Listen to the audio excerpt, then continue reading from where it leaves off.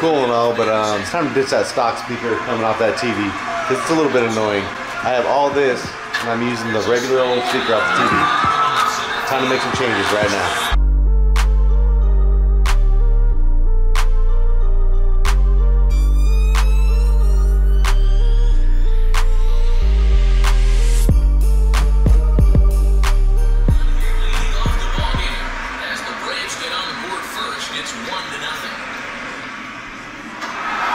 Two boxes of wires sitting here from when I pulled it apart from the last house. Now I gotta figure out what goes where. Fun times. gotta trust your catcher and execute. You know he's coming up to the plate. Pitcher looking to change up there, and it's a ball and two strikes there. Hey, after that extra base hit, things could go a little. Not that often, but this might be a good time for a 3-2 change. If he can locate it, it's nearly impossible to hit. Alright, I'm gonna need some XLR cables and some speaker wire.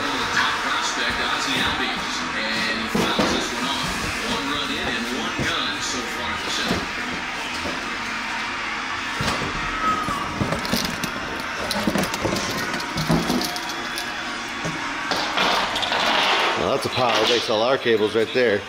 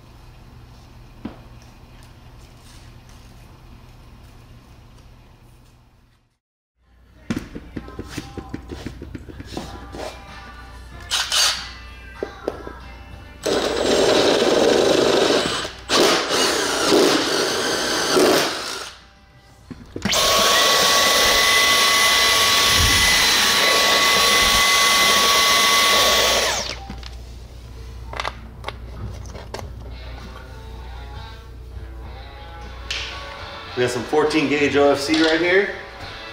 I think that should be plenty thick for this.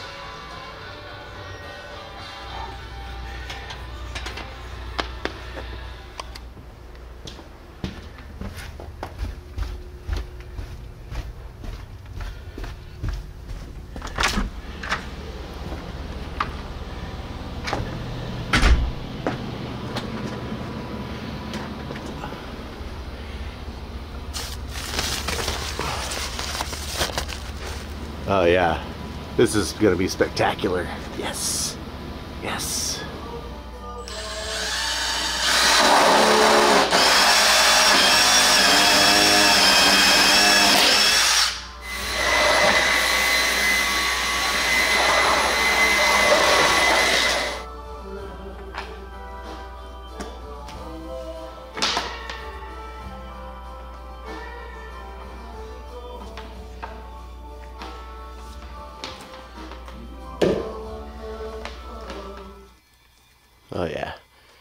This is just delightful.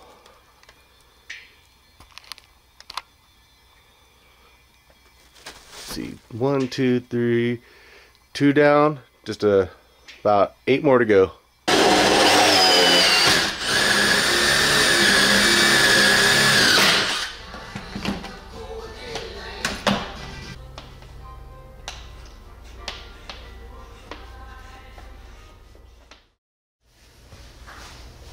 So these stands here have a hole right here and a hole at the bottom of the pole. So I'm gonna come straight up through the bottom. No one's ever even gonna see that. But these stands over here do not have a hole on the bottom or the side. So I'm gonna have to make some.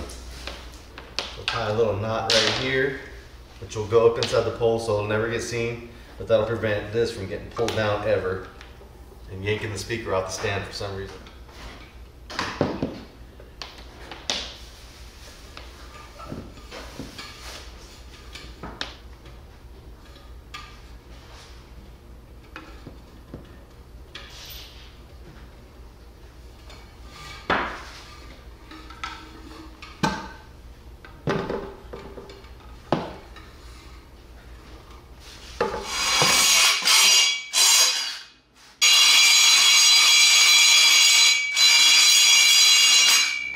On this one, there's no real way to come up through the bottom because this pipe has an insert that holds that bolt or the female side of that bolt, whatever that's threading into. So we're just gonna go at the bottom, come out at the top, can't come through here. So it'll at least be a little cleaner.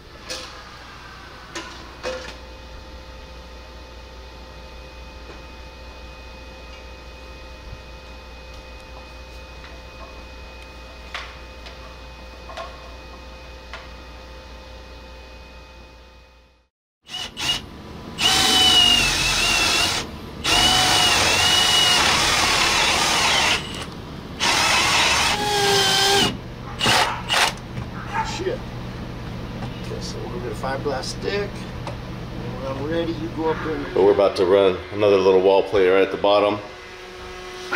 Because I need my HDMIs and my coax coming through to make it to this box. So we've already got outlets in the back, but I need another one at the bottom. So that's what we're doing today. And then hopefully all these wires from all the surround speakers gonna pop up right there. Be good to go, clean.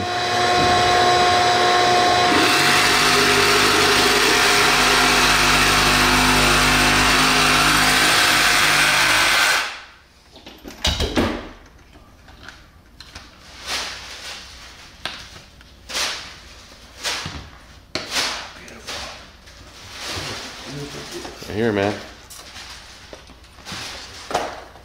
Let's see that thing. I know you like these ones. Oh, these are chunky. Yeah. Look all pimping. Standing up. Okay. Um, I'm gonna try to aim them in there. You try to grab them. Okay. That's more than enough.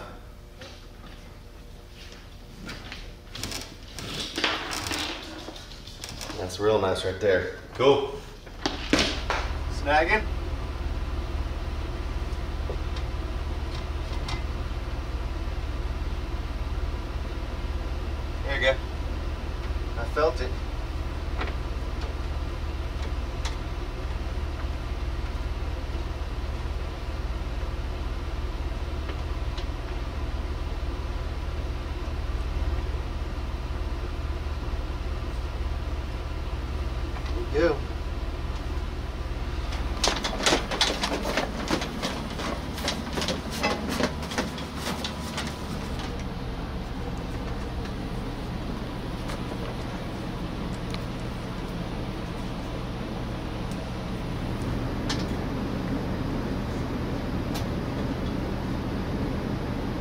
Take as much as you want. There's about 10 feet of slack.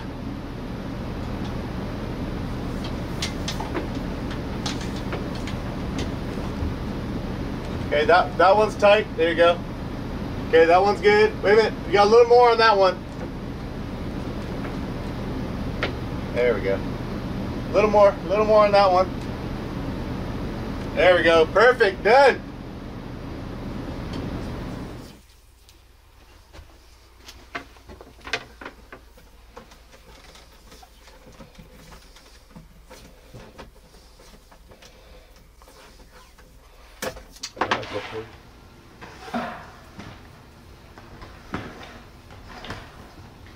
Lovely. Oh, so Troy, is that all I got? Yeah, one second. I got you. Uh, That's more than plenty. yeah, you went around. Ready? Here we go.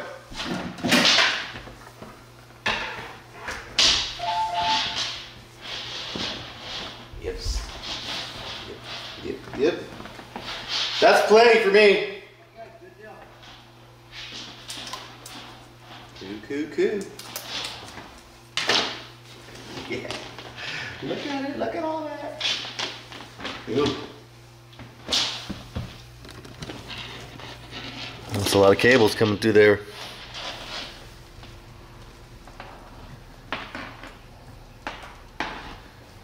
We have enough room in that grommet? Yeah. Barely. It's a lot of cable for some damn home stereo speakers. Right. That don't even include the front ones.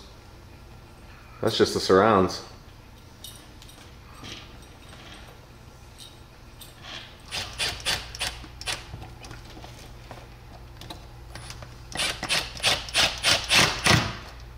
Oh yeah. Beautiful. Yeah. And all I have to do is identify each one of these wires, which speaker they go to, because I didn't mark them yet. Put some banana plugs on them and plug them in.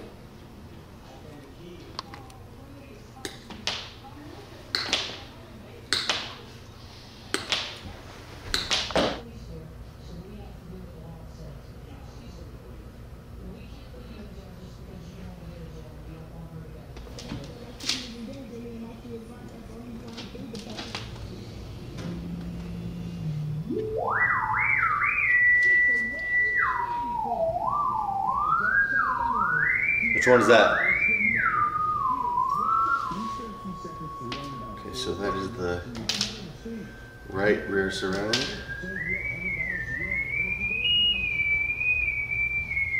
All right, we got all these identified, every single one of them. Now it's time to cut them to length, put some banana plugs on.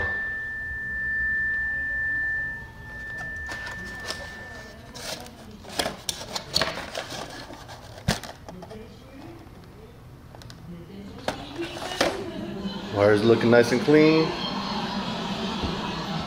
Oh, that'd be stupid. He's full. Now it's time to push this thing back where it was. And to get it all set up. So what is your answer? Yes! Yes, I'll marry You know what sounds better than a sizzling single bacon cake from Burger King? All right, all these wires are ran. Everything's looking good. Before I start doing any, any kind of tuning or anything like that, I'm gonna have to finish these ones up. We got some bows. The old owners left those there for me, which was real nice. All I really wanted was the wires though. So those got to go. It's not a bad little spot for the Klipsch Atmos speakers. Now eventually as I get better at this and as I get used to being in this house and I'm ready to cut holes in the ceiling, this is a really nice vaulted ceiling. I'll end up putting some Klipsch Atmos speakers in the actual ceiling. But right now I'm gonna go with what I already had at the old house. They were amazing, they sounded great. I'm gonna put them as high as I can on this wall and on that spot I just showed you. Eventually we'll do some in-ceiling stuff, but right now we're just trying to get this thing working again and get it sounding awesome. But right now, 9.2.4.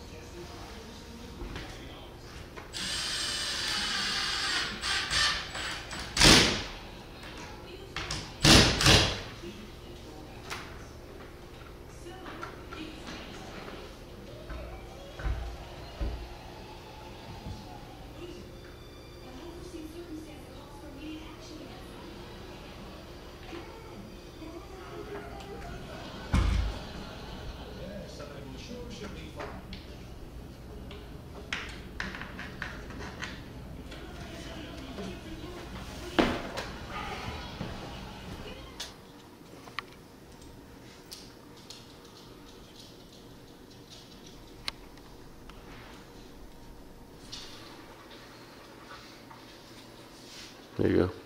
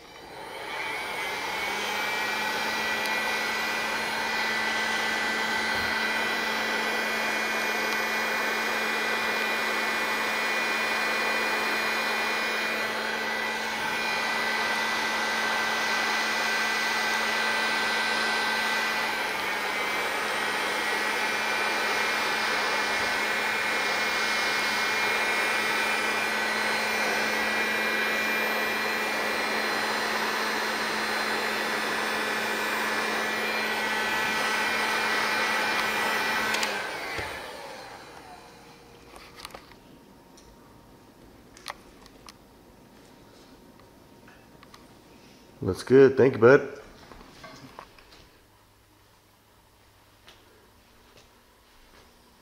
Wire's nice and clean.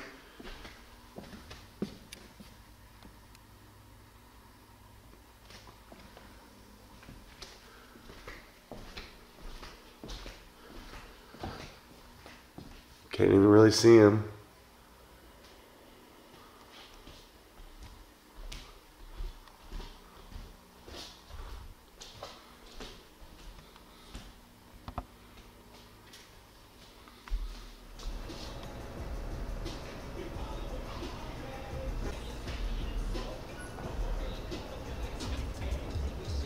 Long day. Everything's hooked up proper. No wires. No wires anywhere.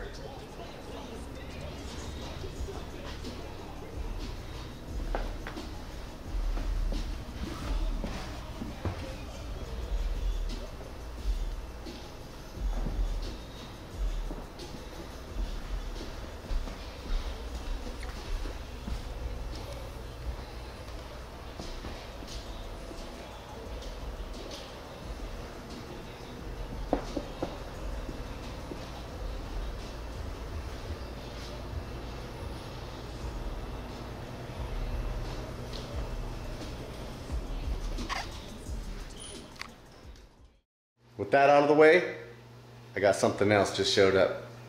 Check this out.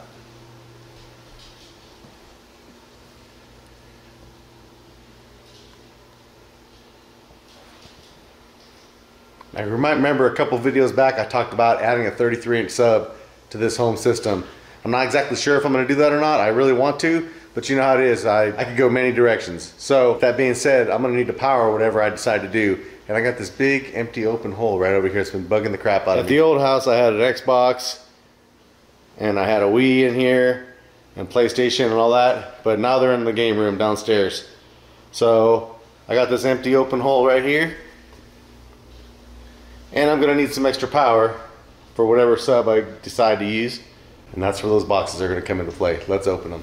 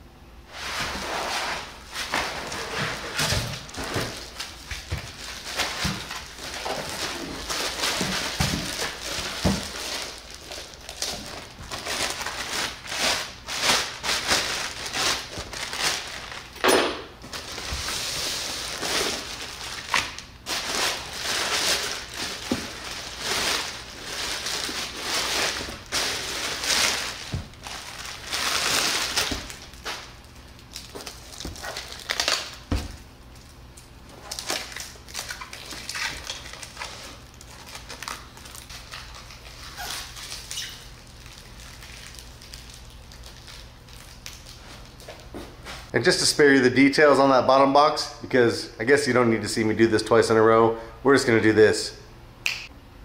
And then there was two.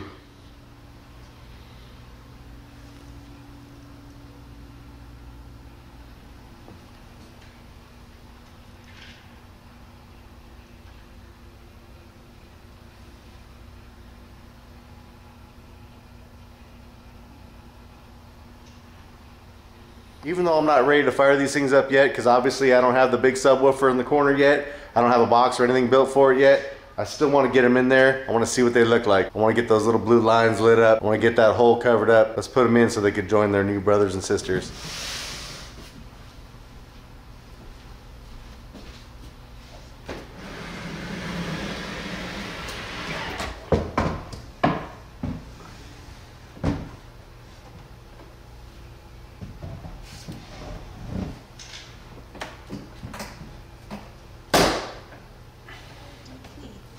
Now I've got another power conditioner going above that one. It's gonna be plugged into its own dedicated outlet. So there'll be three dedicated outlets behind here. We just haven't done that yet, and those will power those subwoofer amps when the time comes.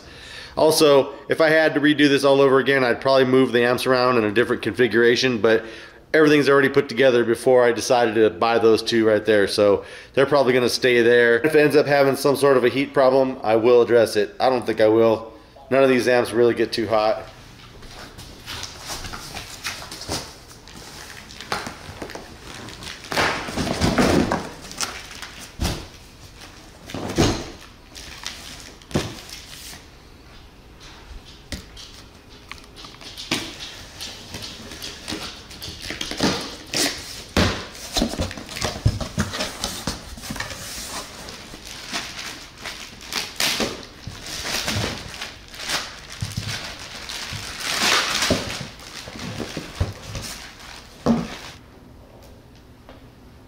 Should match the other one real nice.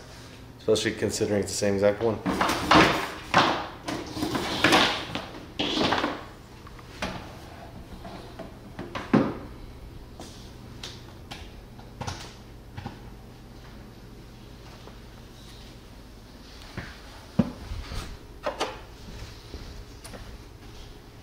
Soon this thing will be getting its own dedicated outlet. There'll be three total back there, but it's not done yet. That'll be part of the next video.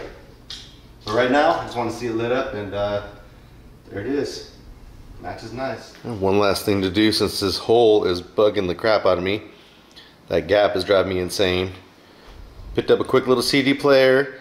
I know I don't really listen to a lot of CDs anymore. Everything is streamed, but I own a couple thousand CDs, so there's no reason I shouldn't have at least a basic CD player in here. I know there's much more expensive CD players out there. This thing's like 400 bucks. I'm probably never even gonna use it. Maybe once in a while, maybe if I dig an old CD out of the crates, something that I can't find on Spotify or Tidal, but it's a perfect spot, pretty inexpensive, and I'm a big fan of this brand, so I know it'll be just fine.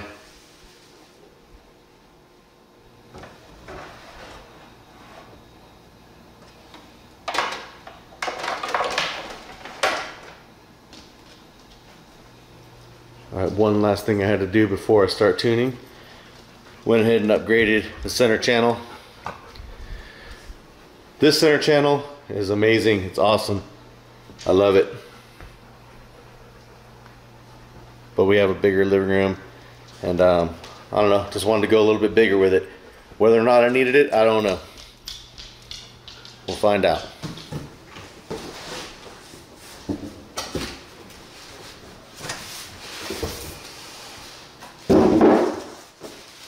Seems gigantic. It's the size of one of the towers down there.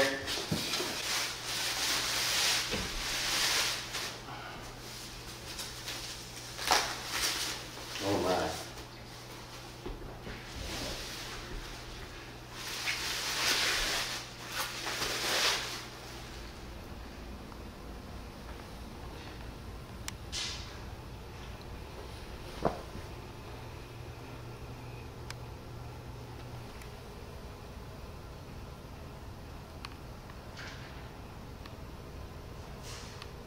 Now don't get me wrong, the one that I'm taking out of here ain't no bitch. It's a 600C. It's a nice center channel.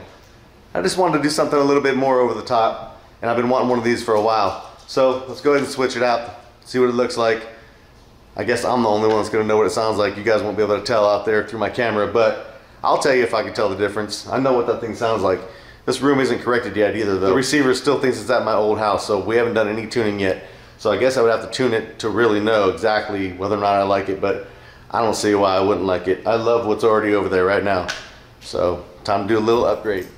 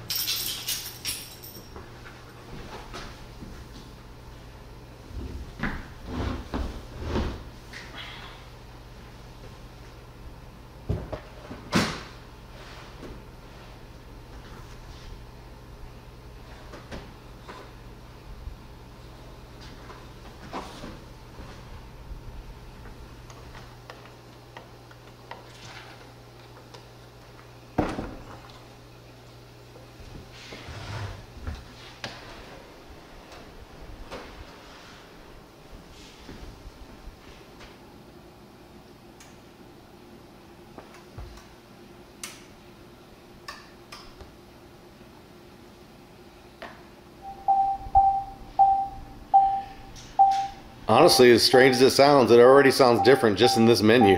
I don't know why. It just does. Maybe just a little bit.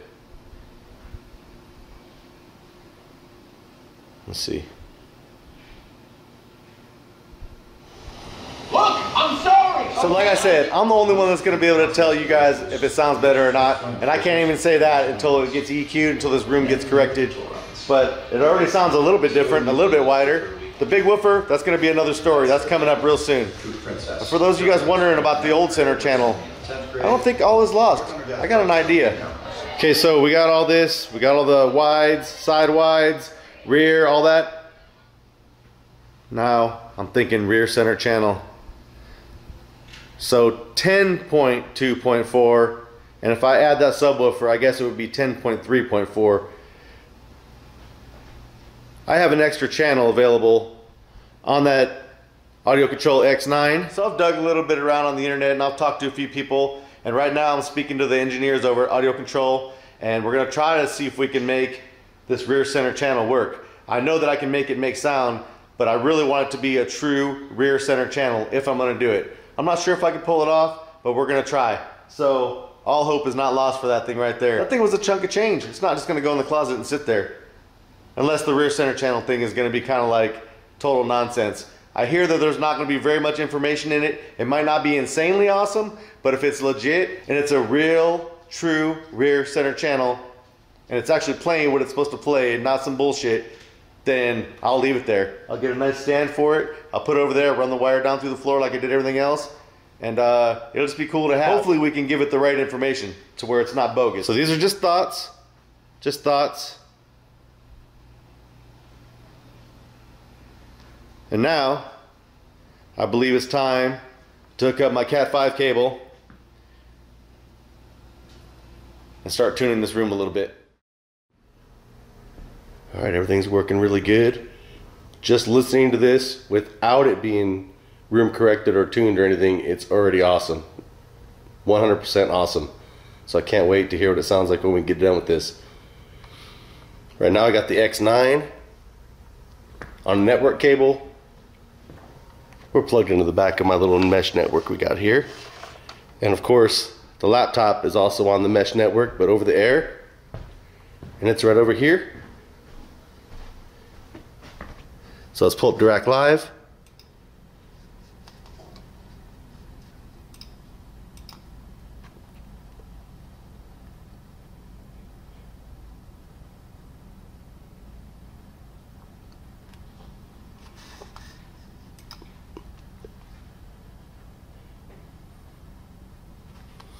So right now, before I get this started, you can see everything right here. There's all my speakers. Every one of them. Except for the subwoofers. The new subwoofers will not go in until I build the box and get that all working. So this is everything with those front speakers. No massive subwoofers yet. That's coming next.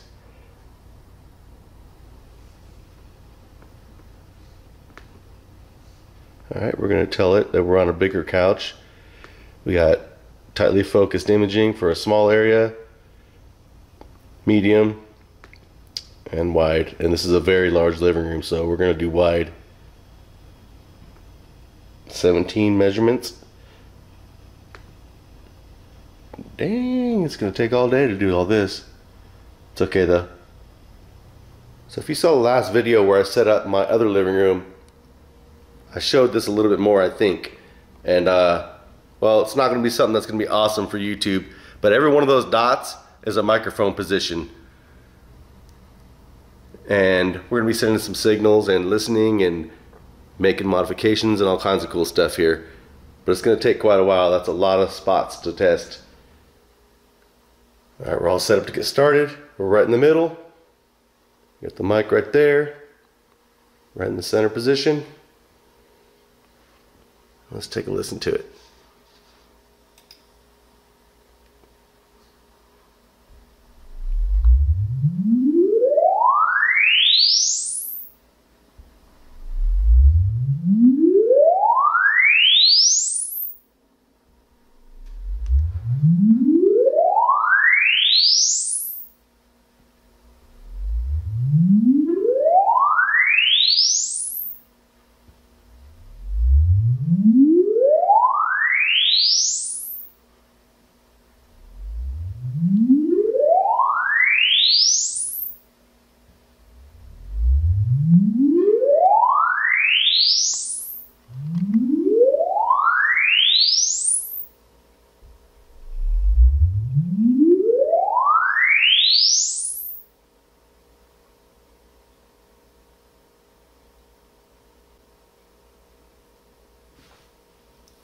Time to move it over to the next spot. Looks like right above the person sitting on the right above his head. Something like that right there.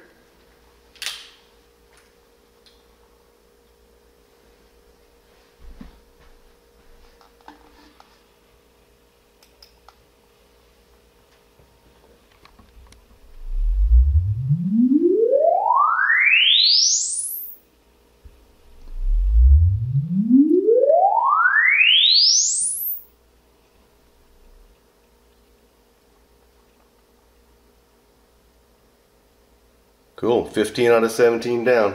It's going to be a long night.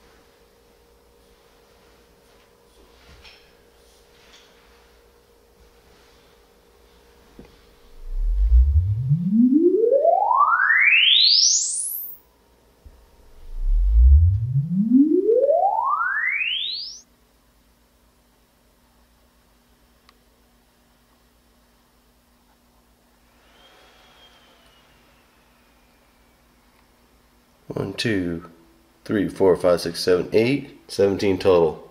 Let's keep it going. Looks like I got to move it to this next spot right there.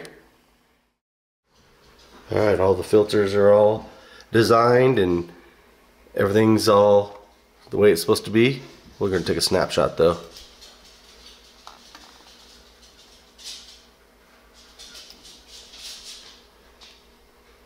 Exporting it over there to the X9 we should be good to go.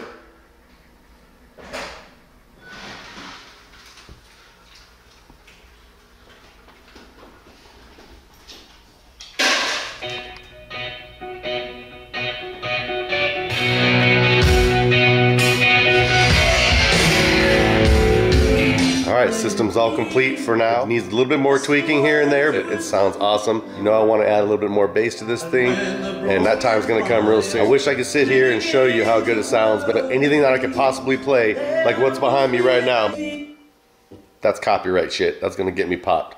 But take my word for it, it sounds awesome in here, and so far so good. It's really hard to describe the way this system sounds.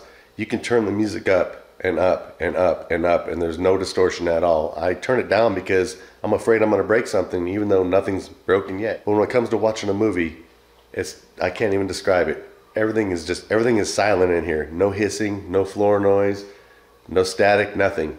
And you hear these little tiny sounds coming from every direction. It's like someone knocks on the door over there and it sounds like someone's knocking on the door in our house. I don't even know how to describe it other than that. Thanks for joining me on this epic little journey and there's going to be more coming real soon. Thanks for watching, and I'm out of here.